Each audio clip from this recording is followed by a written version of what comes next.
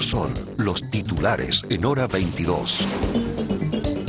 Junta de Vecinos Caupolicán inicia campaña solidaria para ir en ayuda de vecino que fue afectado por un incendio de su vivienda. Se realizó ceremonia de certificación de programa FOSIS.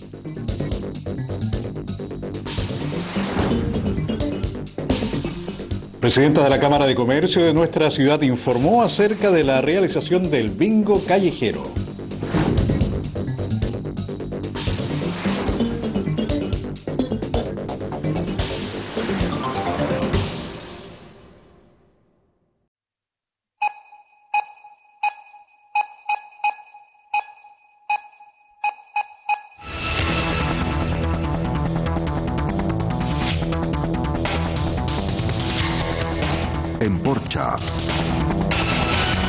Aguas Patagonia.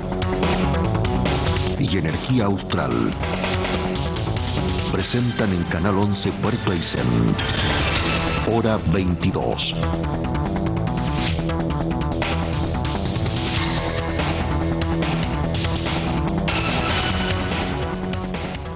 ¿Cómo le va? Bienvenidos. Comenzamos a revisar las informaciones, pero antes les saludamos a todos nuestros amigos televidentes que están en, la sintonía, por supuesto, día a día de la información que prepara nuestro departamento de prensa.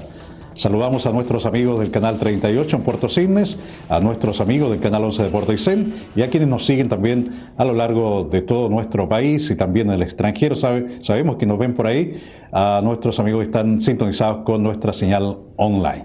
Bueno, para todos ustedes un saludo especial a esta hora desde el canal 11 de Puerto Aysén. Como decíamos, en Argentina principalmente, en Comodoro Rivadavia, nos siguen día a día también muchas familias que tienen... Eh, eh, raíces acá en esta región de Aysén y principalmente en nuestra comuna. Así que para ellos también un saludo especial. Nos han escrito a través de nuestras redes sociales. Así que un saludo para ustedes y gracias por informarse con nosotros a través del canal 11 de Puerto Aysén.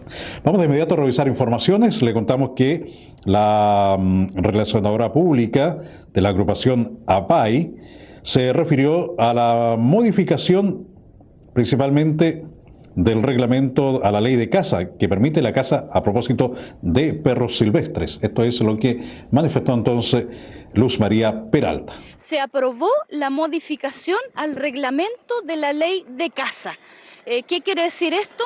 Que ahora se puede cazar ¿Ah? pero para, para cazar y, y, particularmente o puntualmente referirnos al, a la casa de perros, a la casa de perros, porque tiene que ver con eso, eh, que el Ministerio de Agricultura, quien particularmente eh, eh, tuvo una lucha en, en, favor de los campesinos, sobre todo por toda esta, por toda esta problemática de los perros asilvestrados, silvestres, bravíos, se le, se le denomina de muchas maneras, pero son, siguen siendo perros para quien no quiere entender, siguen siendo perros que nosotros mismos vamos a dejar a los campos y abandonamos todos los días dentro del sector urbano de, de nuestra ciudad. Pero pasa necesariamente porque nosotros los seres humanos no queremos entender que uno para tener eh, animales, animales de compañía, eh, estos perritos que uno generalmente adopta, recoge, rescata, no, importando de la forma que llegue a, nuestra, a nuestros hogares, eh, uno, uno, asume una tremenda responsabilidad que hay que ser eh, bien en ese sentido consecuente con lo que uno dice, con lo que uno predica y practica. Tiene que ver con eso. Todo el mundo piensa y hemos escuchado también en otras emisoras, la gente eh, asume que tenemos que ver necesariamente con el tema de la tenencia responsable, que nos alegra por un lado y nos entristece por otro pero eh, tenemos claro nuestro rol dentro de la sociedad, lo tenemos muy claro hace mucho tiempo, 10 años de trabajo no, han sido en vano, el reconocimiento a través de la, de la misma gente, la comunidad de donde vivimos, pero eh, este, esta modificación, esta aprobación al, reglamento eh, de, de la ley de casa, finalmente se aprueba algo muy anhelado por el Ministerio de Agricultura, muy anhelado por el campesinado, que en el fondo los dardos siempre apuntan a los más débiles, a los perros. Pero aquí van a correr peligro los zorros, los pumas, incluso hay un ciervo de color rojizo que tiene un nombre especial que en este minuto no lo recuerdo, pero también eh, van a correr riesgo en este minuto por esta aprobación. Porque por un lado eh, mejoramos una situación y por otro lado la dejamos peor. La monitora del grupo folclórico del Liceo Técnico Profesional de nuestra ciudad eh, se puso en contacto con nuestro departamento de, prensa para informar que fueron invitados al decimosegundo Festival de la Península de Conau. Pasamos a revisar entonces esta información. Bueno, contarle a, nuestra comunidad de Aysén que acabamos de llegar de, una invitación que recibimos desde eh, la península de Ayacara donde estuvimos cuatro días que fueron realmente maravillosos porque sin eh, dejar de lado de la condición geográfica que tienen ellos, 14 horas que nos demoramos en llegar allá, tanto de nuestro traslado como en bus y también en, en barcaza hasta llegar a Yacara, donde participamos de el festival de la península de Comau eh, donde habían más eh, grupos folclóricos, unos provenientes de Puerto Montt, otros de la isla de Chiloé. Y nosotros obviamente de acá, donde fuimos lo único, exclusivo en realidad, que llevábamos nuestra, mm, nuestra cultura de la Patagona, donde realmente estuvo, pero realmente un marco de público muy lleno, eh, la atención fue espectacular lo que los chicos entregaron y dejaron allá fue realmente eh, bien visto por la gente de allá porque realmente las raíces de ellos son exclusivamente eh, de la isla de Chiloé, así que ellos estaban pero muy contentos de lo que nosotros le habíamos llevado de parte de acá de la Patagonia y nuestro folclore regional. Para nosotros igual es algo bien eh, especial y, y, dar las gracias porque allá hay gente que bueno que es de Puerto Aysén y habían alumnos, alumnas específicamente que estudiaron acá hace más de 12 años atrás y ellos eh, habían visto de alguna manera a nuestros chiquillos del Liceo Politécnico actuando. La verdad que no sé dónde se comunicaron a través de nuestros correos personales y bueno, de ahí surge esto y lo teníamos bastante guardado porque nada se puede decir hasta que llega el momento y desde el mes de octubre nosotros estábamos en conversaciones con ellos. Bueno, gracias a nuestro director, don David Cutiño, que hizo la gestión para que nosotros pudiésemos viajar en el bus de nuestro liceo y, y todas las necesidades que tenemos que cubrir cuando se llega a concretar algo de esta magnitud, que en eso significa también llevar un conductor, de pasar le doy muchos saludos a don José Luis, gracias por eh, su trabajo, porque él va en, en, cometido funcionario, pero trabajando junto a nosotros, y darle las gracias a nuestros chiquillos del Liceo Politécnico, especialmente a nuestro grupo, a los niños que participaron en esta oportunidad, y también al grupo de adultos eh, que también participaron junto a nosotros, donde dejaron realmente muy alta la vara con respecto para el próximo año, donde ya fuimos invitados. una bonita experiencia. Excelente, te digo, una más de las que ya tenemos, eh, que van quedando en nuestra memoria a largo plazo. Eh, aparte de la experiencia, son los lazos que uno también se van unificando a través de, del tiempo y con las personas con las cuales uno comparte, con los demás grupos folclóricos y bueno, exclusivamente con la gente de Ayacara. El encargado provincial de ONEMI dio a conocer información referente a algunos incendios forestales y otros focos también de incendios forestales que se han registrado en nuestra región de Aysén. CONAF nos informa de la ocurrencia de dos incendios forestales y de un foco que estaba en, en estudio eh, por parte de ellos. Uno de los focos está en el sector del canal Puyuhuapi, unos 25 kilómetros eh, al sur del acceso a la localidad de Puyuhuapi, lugar donde está trabajando desde la tarde de ayer CONAF. Al momento la afectación es de una hectárea eh, y siguen trabajando en el lugar.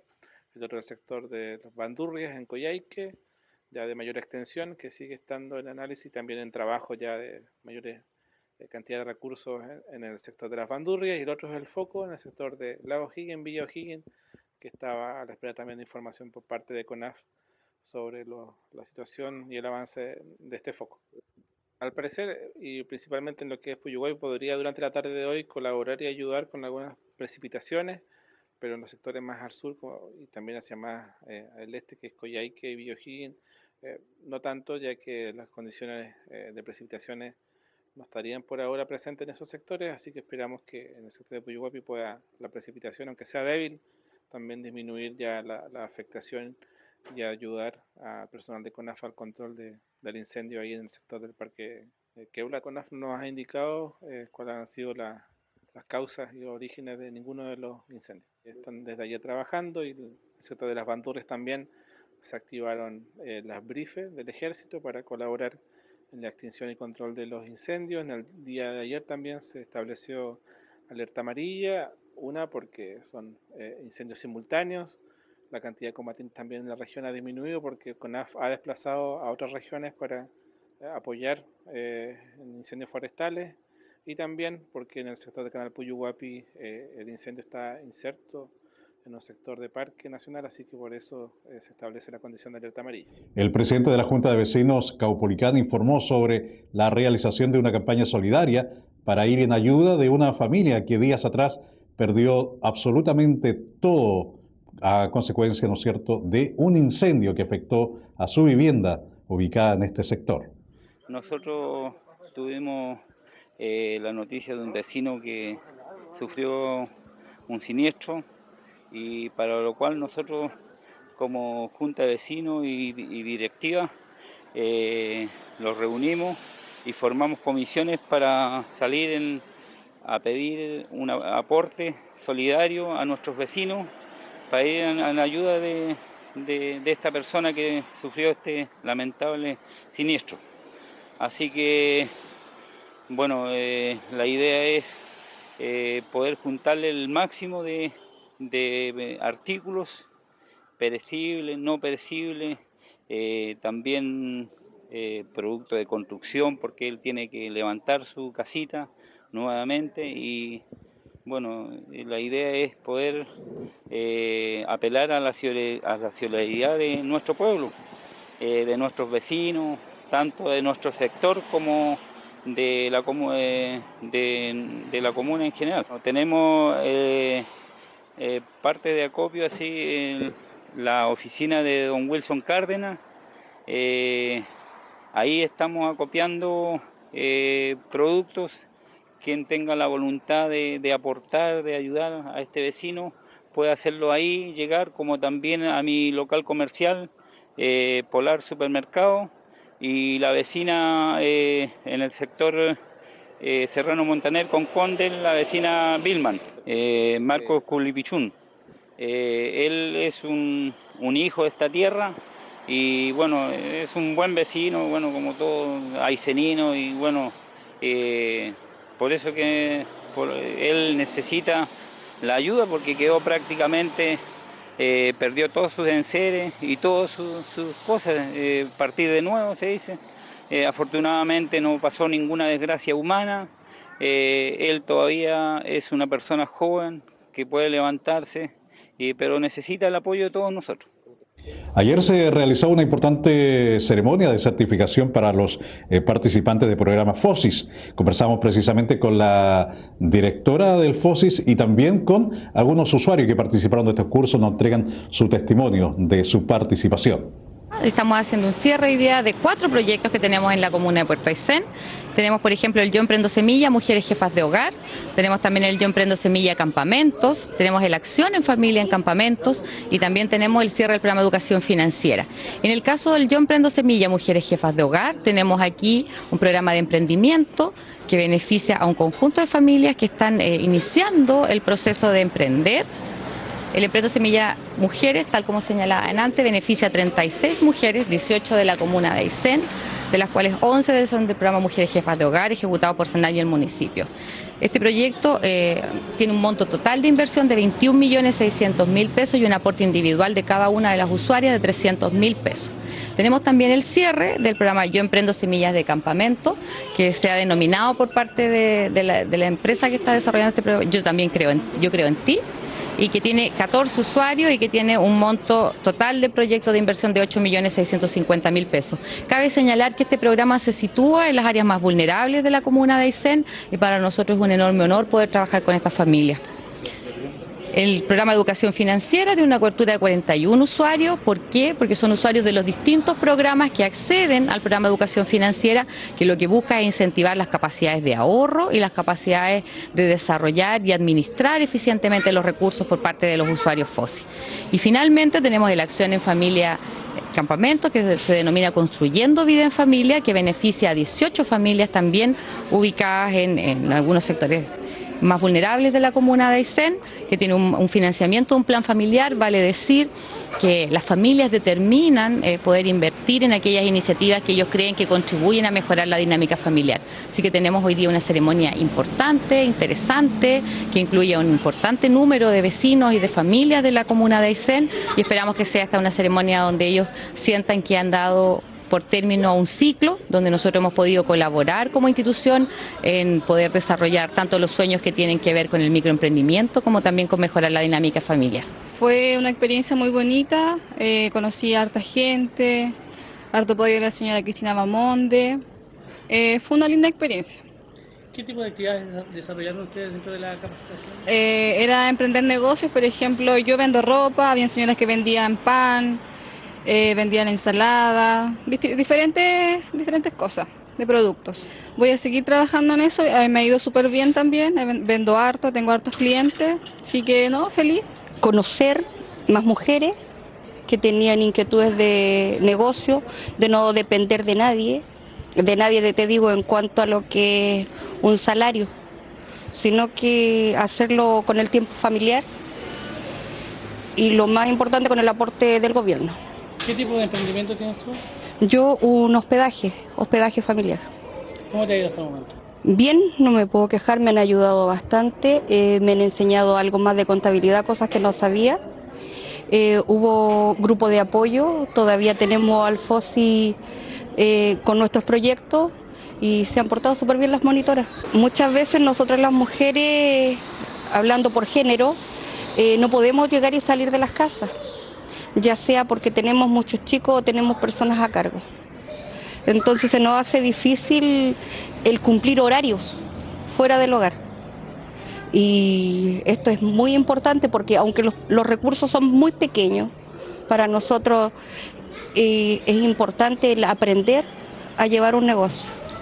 La presidenta de la Cámara de Comercio de nuestra ciudad, María Inés Oyarzún, informó acerca de eh, la realización del bingo callejero, los preparativos para este gran bingo y también haciendo la invitación también a la comunidad para participar y puede ser los ganadores de unos excelentes premios que contempla una vez más este bingo callejero. Bueno, ya estamos a 20 días de, ya realizar este cuarto bingo callejero. Eh, tengo buenas noticias. Nosotros eh, hicimos una solicitud a la municipalidad de Isen, al su alcalde Oscar Catalán, solicitándole unas 700 sillas para poder tenerlo el día del bingo, porque se hace como se hace en calle, necesitamos tener más o menos eh, sillas para la gente más adulta.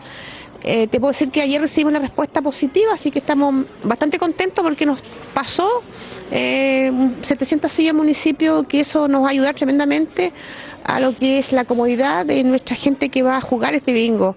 El año pasado tuvimos eh, igual la cooperación del Liceo San José, donde tuvimos que sacar más de 400 sillas del tercer piso del liceo, entonces igual para nosotros fue mucho, mucho trabajo, pero hoy día eh, tenemos, gracias a Dios, eh, la, comprensión del alcalde y igual uno tiene que ser eh, correctamente y darle las gracias porque de alguna forma no se confunde acá el, el, papel que uno cumple como presidente de un gremio, el comercio, y nos otorgó hoy día la facilidad de pasarnos las 700 sillas para el día 22 de, de febrero.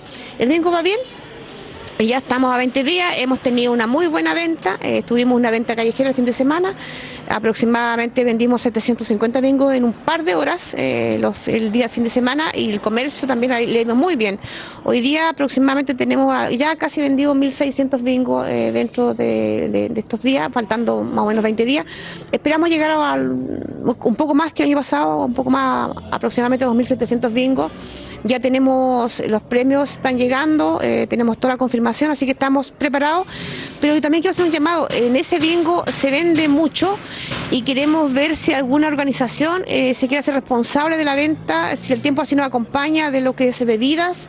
Eh, jugos y también helados. ¿ah? Ojalá, ojalá, contactarse con nosotros y alguien que también quiera ganarse unos pesos, hacerse responsable de los baños químicos, eh, que queremos también poner a la disposición de la comunidad y todo eso va en beneficio de alguna institución o alguien particular que quiera hacer eso.